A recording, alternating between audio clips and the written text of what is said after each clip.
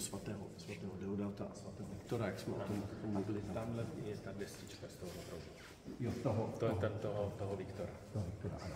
Tak a e, tamhle je e, náhrobní no, epitaf, teda přesně řečeno, který je ovšem výrazně mladší, než ta kaple, ten je až snad z doby opata Zeidlera, mám pocit, e, který upomíná na, na Maršálka Pappenheima. E, my známe to úsloví, známe své pappenheimské, které v češtině nabilo spíše e, vždycky konotace negativní, ale je třeba říct, a já to všude zdůraznuju, že Pappenheim byl pravý hrdina. To byl opravdu pravý hrdina, který zahynul v bitvě u Licenu eh, v roce eh, 1632. Eh, Spolu také se vzdáleným eh, synovcem Lechtovým eh, Berchtovem. No a pak je do Třegice, je tady pohřben ještě, ještě eh, Adam Wolfgang Pappenheim, to je syn eh, Pappenheimu, který ale zahynul v souboji za Pražským mostem, souboj s generálem, s generálem Golčem.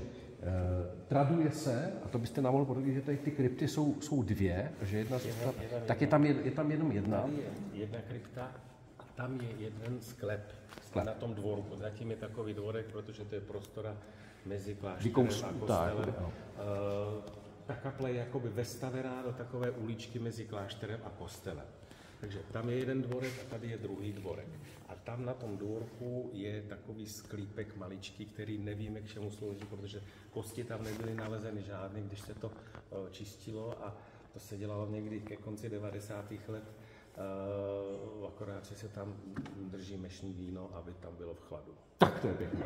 Eh, Tady právě tu kapli nechal okrášlit uh, Waldstein, uh, ten projekt vytvořil Nicolo Sebregondi, eh, italský stavitel, který pro Waldsteina let kde pracoval. Samozřejmě, že po to po Waldsteinové justiční vraždě se to celé eh, se pozastavilo. No a eh, ten epitaf, to je zajímavé, eh, ten zmiňuje pouze toho otce asi na Pappenheime, na toho Bertolda z Valšina se v té době asi zapomnělo, se prostě o něm nevědělo, takže ten tam, ten tam vůbec není zmiňován. No a nahoře, se podíváme, tam je freska Sjarda Oseckého, která znázorňuje mimo jiné bitvu Ulicenu, která do dneška se vedou spory, kdo ji vlastně vyhrál, ale podle mě vyhrál Waldstein, protože jako v šachu, když porazíte krále, tak, tak samozřejmě zabijete, zabijete no, tak, tak jste vyhrál, kdybyste ztratil mezi tím všechny a kromě krále zůstali všichni, že jo? takže Gustav Adolf zahynul, eh, takže si myslím, že Waldstein byl vítězem, no ale už to byla závěrečná etapa jeho života, pak už to s ním šlo samozřejmě, šlo samozřejmě z kopce. Takže e, tuhle tu kapli mám rád a bohužel teda musím říct, že opat Questenberg po Waldsteinově smrti se nechal strhnout velmi nenávistným výlevům vůči Waldsteinovi, velmi přehnaným, nevím, jestli to byla taková dobová, no tak samozřejmě, že ten Waldstein upadl do, do, do zásadní nelibosti, ale myslím si, že to trošku přehnal, že mohl být trošku vděčnější. Druhá věc samozřejmě je, že možná ten Waldstein to, to eh, nezaplatil, tu kapli. To mě taky napadlo. Eh, On, on na to jakoby vyčlenil hodně peněz, ale jestli došlo k té platbě, to, to si, to si nejsem. nikdo nezabýval, jestli to zaplatil. Možná, že proto byly ty nenávistné výlevy potom. Možný, protože on už toho asi měl taky dost, ten Klestenberg. Ne, že bych se ho chtěl teda zastávat, on, on to dokázal být pěkný metr, ale on taky několikrát musel utéct z Ano, Prahy. ano, ano.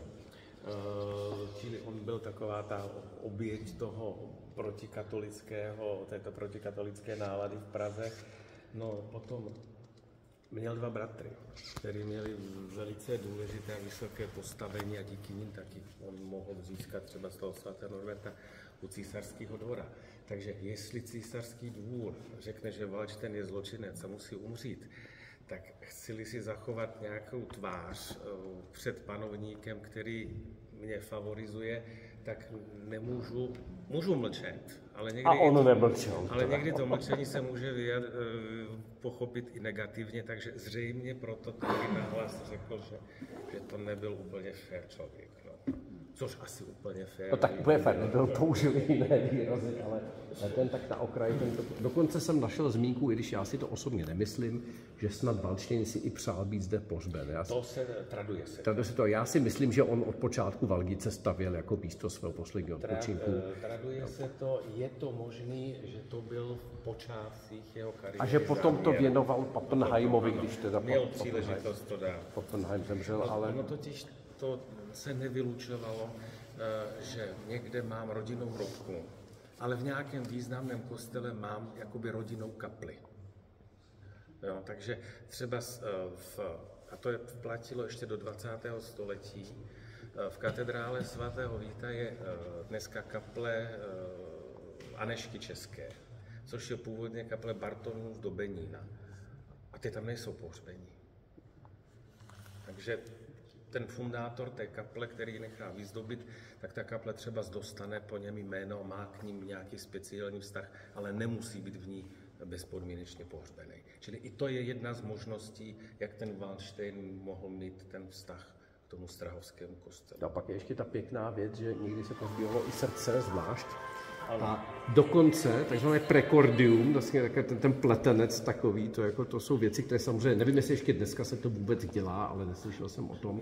Tady, to jsme nezmínili, jak je ten Norbert, tak tam je velká vzácnost, tam je srdce posledního opata v Premontré, Jean-Baptiste Lecu, který e, měl asi docela štěstí v neštěstí, protože pak zemřel ve vysokém věku jako kanovník v Paříži, přešil tu příšernou francouzskou revoluci, která rozmetala doslova Premontré a e, on si výslovně jednak oslavil strahovlatinskými verši a výslovně si přál být zde pohřben. A když pak půjdete do kabinetu kuriozy, tam uvidíte i, i použ, nebo, nebo je to tady, ono, ano, tak se to přesunulo, ale v té expozici nové je, je, je pouzdro, ve které e, to srdce, taková etuje, v tom tom to srdce přijalo na Strahov a to srdce je pohřbeno tam takové, takové. Dokonce jsem našel, ale to je, to je, to pravda asi není, že někde tam na tom oltáři by mělo být ještě srdce eh, biskupa opata eh, z Fuldy, eh, ale vážně se to taková, on to samozřejmě není, není veselá historka, ale taková jako, jako, jako v úzovkách vtipná, že ten opat Fuldský, když byla bitva u Licenu, tak tam byl a udílel požehnání, ale jak tam byla ta mlha, tak on omylem věl mezi Švédy a udělal jim to požehnání a oni ho Oni ho bohužel zabili, takže, a tvrdí se, že tady má srdce, ale to srdce tady, to srdce tady pravděpodobně Zatím jsme nenašli. Tak, teď se ještě, jestli můžeme, podíváme blíže k tomu hlavnímu oltáři,